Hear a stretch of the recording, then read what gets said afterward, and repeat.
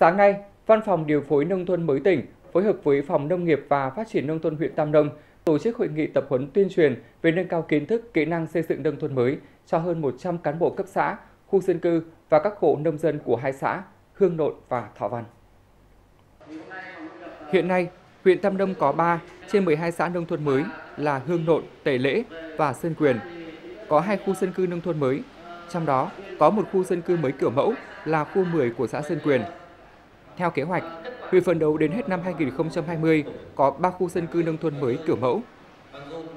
Tại lớp tập huấn, các học viên được giới thiệu tổng quan về chương trình mục tiêu quốc gia về xây dựng nông thôn mới giai đoạn 2016-2020. Một số khái niệm về nông thôn, nông thôn mới, khu dân cư nông thôn mới kiểu mẫu, kết quả thực hiện chương trình mục tiêu quốc gia về xây dựng nông thôn mới giai đoạn 2016-2020, định hướng giai đoạn 2021-2025. Cũng tại lớp tập huấn, các học viên được phổ biến nội dung về danh mục phân loại sản phẩm tham gia chương trình ô cốp và quy trình đánh giá, phân hạng sản phẩm ô cốp.